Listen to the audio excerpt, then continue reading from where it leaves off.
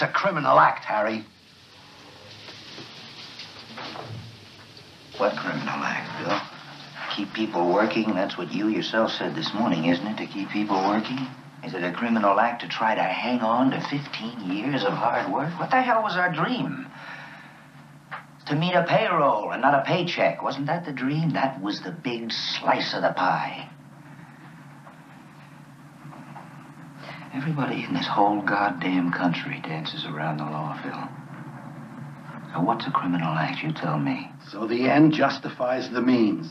Well, that's what they got up in the scoreboard, baby. That's the way they play it. Who's they? We're they. And there are rules. Wrong. Used to be. No more rules, just referees. And no room out there for losers. Believe me, you and me out in that street again? Why, Christ, where, where, what would we do? Where would we go? We're out. You want logic, Phil. And there is no ministry of logic in this country. Performance used to count, right? For 15 years, we met our obligations with the same unions, the same mills, the same bank. But today, all they care about is the bottom line on a passbook, and then some goddamn machine gives you a bum credit rating. So history doesn't count anymore.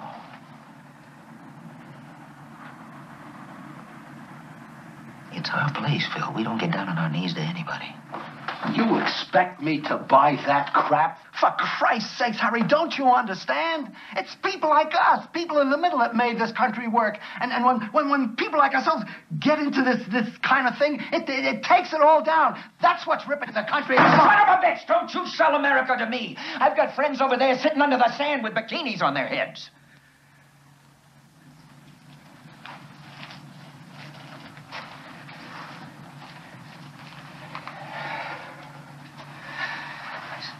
I used to get goosebumps every time I looked at that flag.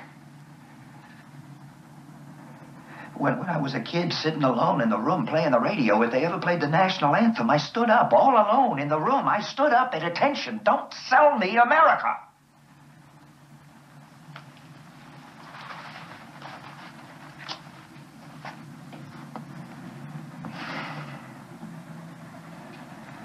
Now they're making jock straps out of the flag.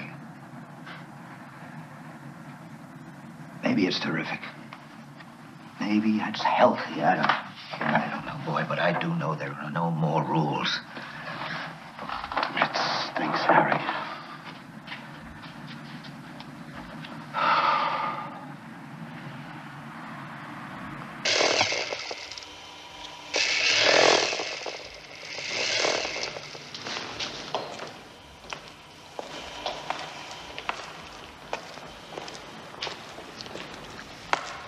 Hello, boss.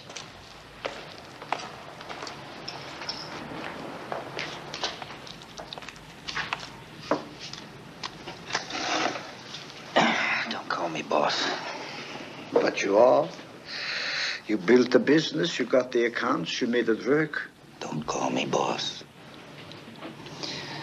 How's everything looking? I don't want to talk about the line.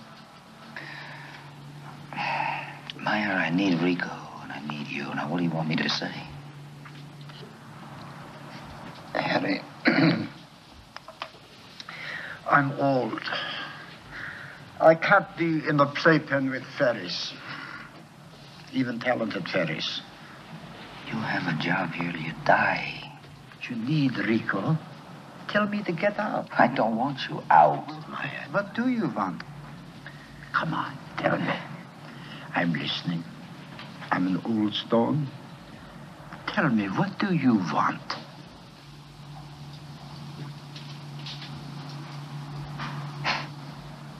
Another season. That's all, another season? Just survival? No dreams, no hope? Hope? You better ask the little old lady in Vegas with a Dixie cup full of nickels. She still has hope. She's still looking for the three cherries. I'm sorry. I'm sorry for you. You're sorry for me? You've spent most of your life running. From pogroms, Nazis, bent over a machine. What the hell have you got? I have my craft, my work. and a woman. Old, still lovely. I like to look at her, to listen to her talk. So sweet. And it's every day. That's good. Yeah, that's good. Now get out of here. Let me work. I'll deal with the fairy. We've had our talk. Go to your mansion. Go to your Mexican cook. Go and speak Spanish to your Mexican cook. For Christ's sake, Meyer. Go home, Harry. Get some sleep.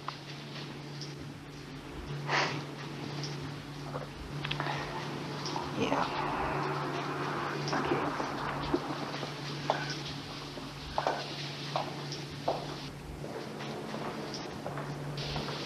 Good night, Harry. Good night, Meyer.